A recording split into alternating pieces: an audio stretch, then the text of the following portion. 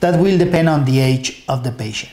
If the patient is young and younger than 35, it's very likely that if we have six eggs, we may end up with two or three good embryos with good chances of implanting.